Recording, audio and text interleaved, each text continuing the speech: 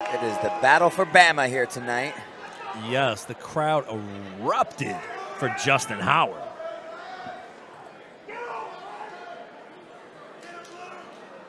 Referee Fred Griswold calls them in for their final instructions of the night. And we can see that it looks like Howard actually might have about an inch on him. I think the hair might have been deceiving us a little bit there, Nick. It might be. Sporting touch of gloves, fighters back up. And again, I am loving this in the ring. This is just... And here we go.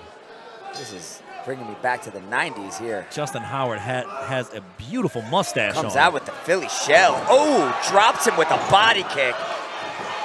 Beautiful transition to the back. He's got to get that position. Position for, before submission, folks. Takes the top hook.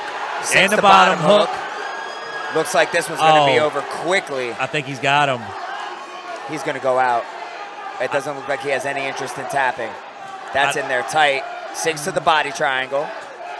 Now, if he can get that leg over from, the leg and around the thigh, he can tighten this up even more. From the angle that we're at, we really can't see the hand position. There and there's the tap.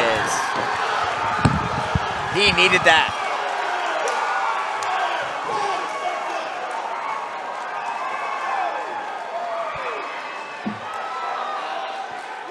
Ladies and gentlemen, inside the Island Fights ring, the blue corner secures a rear naked choke forcing his opponent to tap with an official time of 38 seconds.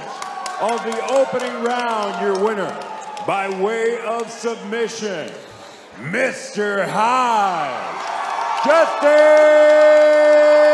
Howard.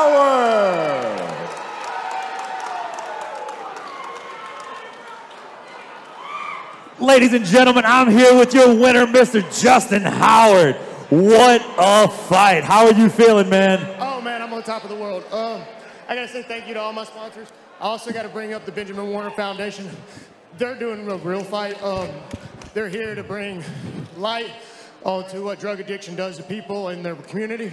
It's a nonprofit foundation. They help with scholarships to underprivileged kids, as well as helping get people into rehab and really change their lives. That's a real fight. This is all for fun. Absolutely. Well, talk me through this. You came out like a fireball, landed a beautiful right hand straight to the ground, both hooks in, textbook. Was that the plan? Okay, so it just kind of fell in. The whole plan from the rip was wait for him to throw his kicks by themselves because we knew he wanted to fight range three, counter big, and get to his back. We've been working it for three weeks now. Did they tell you? Because you didn't do none of that. I thought I did pretty well, boss. You did amazing, boss. Ladies and gentlemen, keep your eyes on this man, Justin Howard.